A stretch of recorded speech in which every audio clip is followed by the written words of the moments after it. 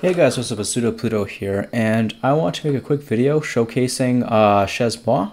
Um, it's a dot files manager, um, and it's written in Golang. It's a single binary, and I'm going to talk about why I chose it to manage my doc, uh, dot files and my config files, um, how I went about automating, uh, setting up my machines, and like why it's important.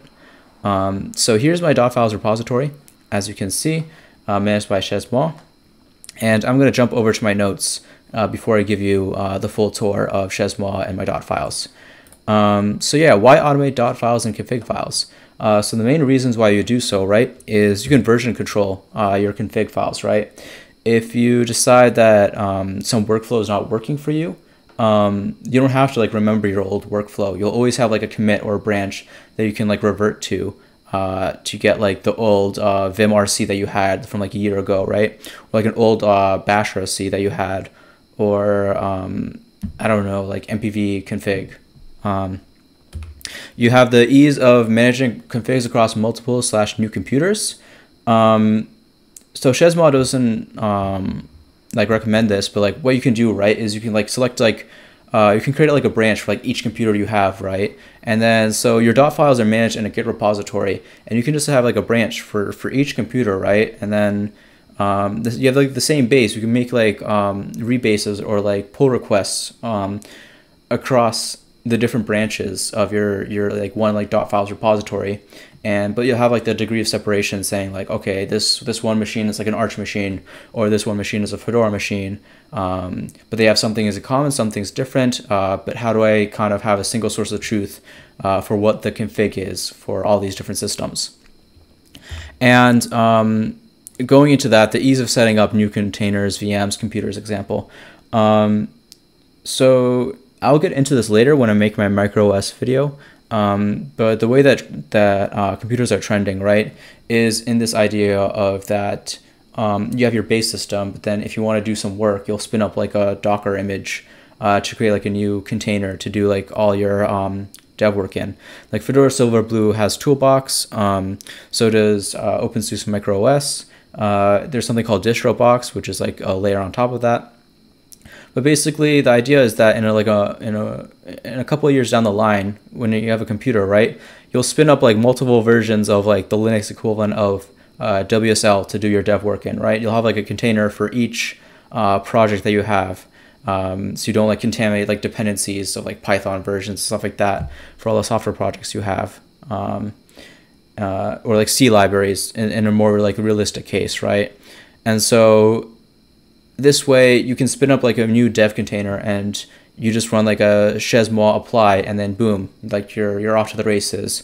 Um, you have all your like vimrcs and SSH keys and everything installed for you. Cool. Um, so why did I choose Chezmoi over other solutions? Um, I chose it because it has an easy install with a one-liner wget. I'll actually show it to you. Um, yeah, you run this one like curl command and that'll download the Chezmoi binary, uh, put it onto your path, and then um, like clone your own like GitHub repository for your config files and apply it immediately, right? So if you have everything set up right, you run this one line, you run this one one-liner on your new machine or your new VM, right? And everything is set up for you right out of the gate, which is amazing. Um, and that is also enabled by the fact that it is a Golang binary.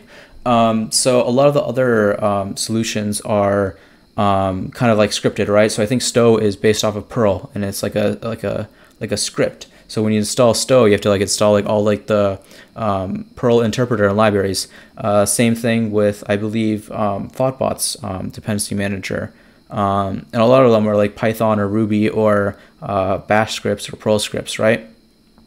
And so this is like a single like Golang binary. You know, you don't need admin rights to to set up your system.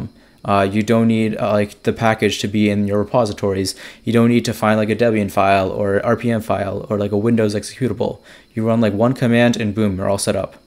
Um, I also like it because it uses actual files instead of symlinks, uh, kind of like Stow.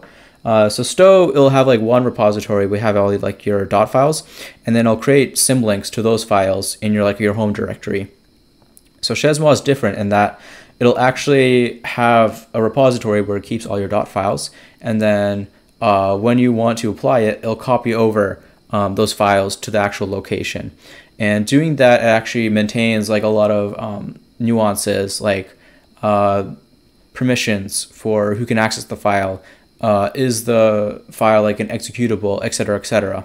It also has a templating system.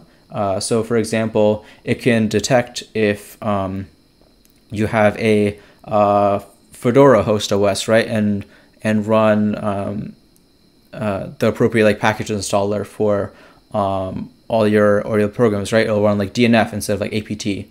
Um, and it's also useful for basically um, building up like more complex um, dot files, right? You can have like a different branch that uses like the same files, and you just change like one environment variable um, for the templating system, and boom, like you can have like a whole nother user um, and like uh, like a whole nother name, like a whole nother um, email that'll like get put everywhere for like your Git uh, config, for example. Um, that's just one area, and it has very good docs. I'll show you the docs, um, and especially around encrypting tokens and keys. So yeah, I have my um, SSH key on there on GitHub for everybody to see, um, but it's encrypted, and I have the key, and so it has very good documentation on how to have like a public GitHub repository where you have your own like private um, files, right? So like I have my Kattis submission token and my Exercism submission token, and all of those are encrypted. So I can put the whole repository online for public. You guys can clone my repository and install like most of my dot files. Um, and I think that's pretty cool. And so yeah, um, getting started. Uh, yeah, I would read the docs. I would play around, especially with encryption and package install scripts, and I would have fun. And so I'll give you now a tour of Chezmoi. So this is the homepage. Um, you'll see this sort of um, sidebar where you can see like quick start, um, which is like an overview, like a flow chart of how it works and how the command works. Uh, an example for is like why would you use Chezmoi, and a comparison table with stuff like uh, Dotbot from Thoughtbot, or no Dotbot.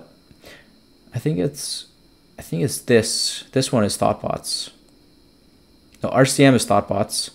Uh, they don't have Stow in here, but they have like all these other dot, man- um, dot file managers. And why would you use it? For example, here, right? Bootstrap, everybody requires like um, Python or Perl or um, Bash, right? But yeah, this um, Moi does not require anything. Uh, Moi uh, has non-root install, right? That's hard to do with these other ones. Um, we have yeah every everybody has like files except for this guy for some reason uh, but yeah symlinks are um, uh, less featureful than actually having like the actual files. And yeah so and then you have the user guide uh, which has stuff like uh, where is it? Encryption. So I use this tutorial for encrypting my SSH keys and my Kattis tokens and my Exercism tokens. And it also has um, tutorials for doing uh, a lot of stuff like uh, managed machine to machine differences. So this is how I select um, like installing certain packages if I'm running Fedora and stuff. And so the documentation is very good. I would go through it and just just try it out for yourself. Um, no no pressure at all. Uh, you can revert everything if you want to. It shouldn't impact like your actual like home directory stuff unless you actually like run like Chez apply. Um, but yeah, I'll show you a tour of my file repository. Um, as you can see, actually, I'll show you. This is what my old one used to look like, config, and everything was done manually.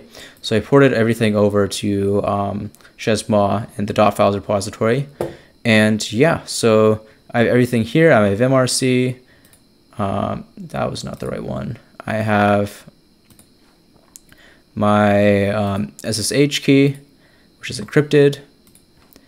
I have um, my my encrypted uh, Kattis key, my Kattis token. I have, what else do I have? My Exercism token, which is also encrypted. I have my MPV config, right?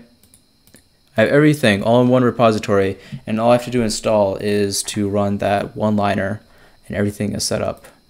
Um, I'll show you guys the example of the templating.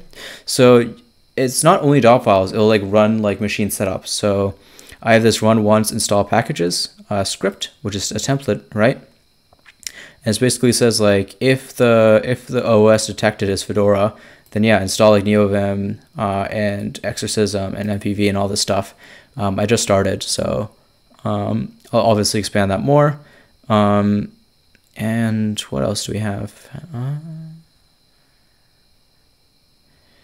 oh, this is interesting. Uh, I can make a separate like tutorial or like notes on how to do this. Um, but basically, you need to add bash completion if you install it via um, the, the curl command.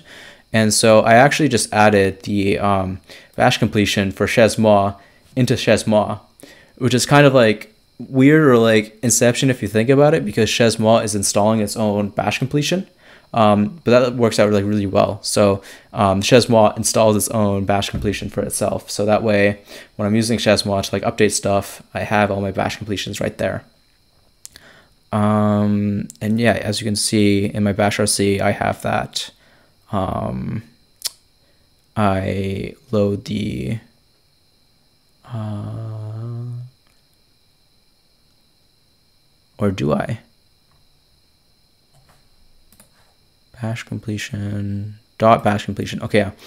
So as you can see, I have um, the dot bash completion file that actually like will import um, my completions. Cool. Um, so feel free to fork this um, or clone it or like use it for whatever. Um, all my important stuff are encrypted and you do not have the key, so don't worry. I might make a separate video going over like my vimrc um, but it's very small. or my bashrc.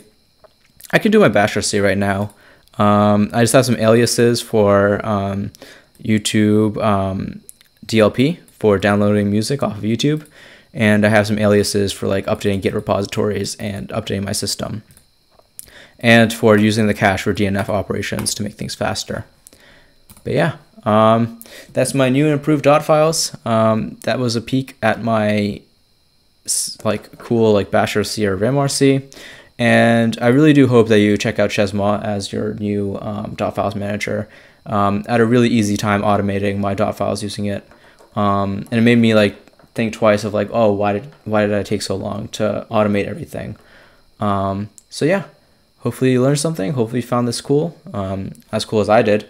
Um, and yeah, this is Sudo out. See you guys later.